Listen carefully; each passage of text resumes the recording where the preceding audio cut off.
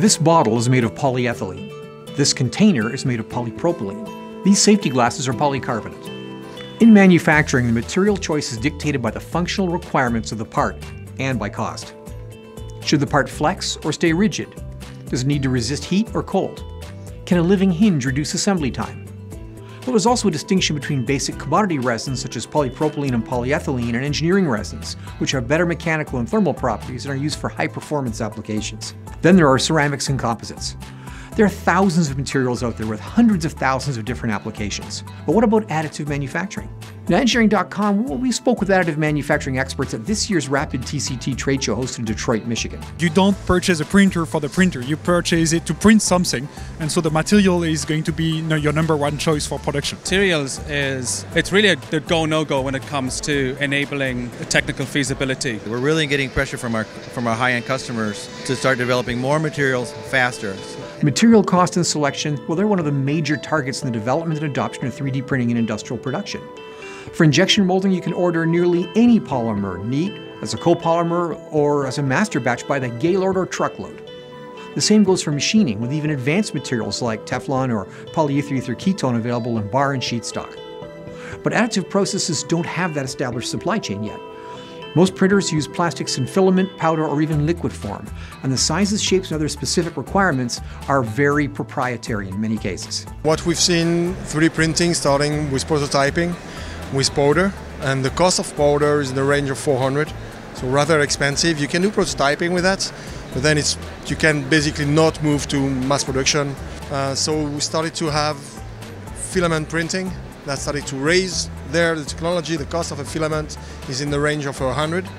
And uh, what is starting to emerge today is the pellets, where the range is around 25 to 30 per kg, so it's all cost per kg. Manufacturers are hesitant to lay out the capital for an additive manufacturing machine, which could range from the mid thousands to the mid hundreds of thousands of dollars, especially if the material selection isn't there. And the lower the volume, the more likely the part will be designed for higher value engineering resins. We're seeing a lot of adoption of our high performance materials beyond tooling, actually parts on cars. Last year, the Penske car that won the Indy 500 had 40 parts on it. For example, this year we have 13 cars in the race we're seeing a big adoption on Ultem parts on airplanes. In the opinion of many, myself included, the rate of adoption of industrial additive manufacturing lines will be directly correlated to the availability of a diverse range of custom commodity and engineering materials. Now we're getting there with equipment makers working with advanced materials developers like Dow, BASF, DSM, and SABIC. The, the other challenge that you had is that, so you mentioned that very high mechanical properties or very low mechanical properties. So basically you the industry had a choice between PEEK and PLA or ABS. But so you can do a prototype in PLA or ABS, but mechanically it's crap. So there was a big gap between the two. And so what we keep receiving questions from customers, can you guys, because you're the expert of engineering material, can you work and bring your technology available and affordable for the 3D printing? So that's what our uh, team has been working on working on the chemistry to make sure it's workable and that the mechanical property they're used to when they do injection and blow molding, they can find and reach the same level of properties with 3D printing. We've traditionally developed and sold all of our own materials. This advanced partnership was with Solvay. It's around a couple of new materials that are very high performance. So by working together with us, understanding extrusion, us inventing extrusion for additive, uh, I think we, we, our belief, and we think it's very true, that we can bring high performance materials to the industry faster. One fascinating category of materials in additive are flexible, compliant polymers like urethanes and elastomers.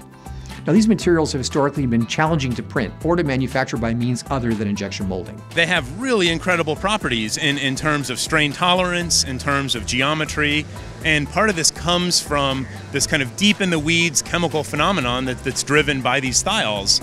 What it allows us to do is shape the polymerization front of a growing voxel and control how parts stick together very, very nicely in very complex three-dimensional uh, structures. And we can do this quickly.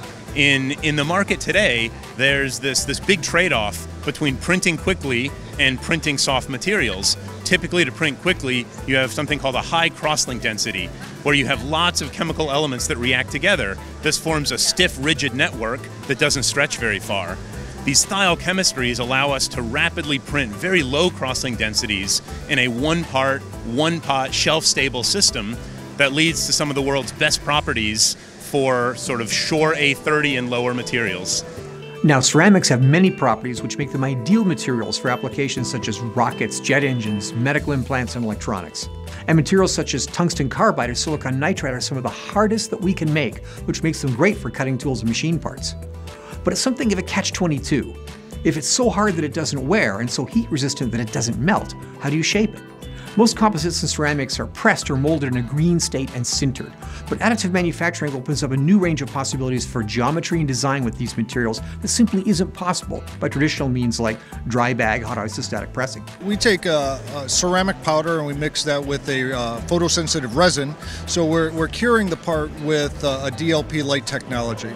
So what we're, what we're doing is we're achieving a green part out of our printer that we then uh, debind and sinter to full density of you know 99.5 plus. Aerospace is one of our biggest markets. Medical, we do uh, we make uh, products specific for the medical uh, industry that we're trying to introduce. Um, general manufacturing of ceramics, people who are already making ceramics via injection molding is a, a very good uh, customer for us. Uh, just another way to shape that ceramic and create that fully dense product that they're looking for. Now, in diamonds, of course, the majority of diamonds in the world are used for industrial purposes, primarily for abrasives, as a fine powder. What is the form of diamond in this case? Oh, it's it's a diamond grit that, that is included in the material, and then it's cemented into a solid material using a, a pro proprietary process. We, we fuse it with a kind of, of ceramic that we developed. So we print the diamonds into a, a, fine skeleton. We use a, fairly standard equipment using stereolithography. Do you mention anticipate applications of this? Would this be uh, as an abrasive or a cutting tool? Uh, it could be used as a cutting tool. I mean, it, it, thanks to its super hardness, it will last forever in, in, in most applications, we hope. Uh, but it can also be used in, in uh, things like thermal management where you need to take heat away since the, the diamond material has very high heat conductivity. So maybe it can uh, keep your supercomputers cool in the future or, or we're just looking for the new opportunities to new applications uh, that you, we can imagine. Whether they fuse powder, cure resin, or lay down filament, 3D printers have come a long way in terms of accuracy, precision, reliability, and capability.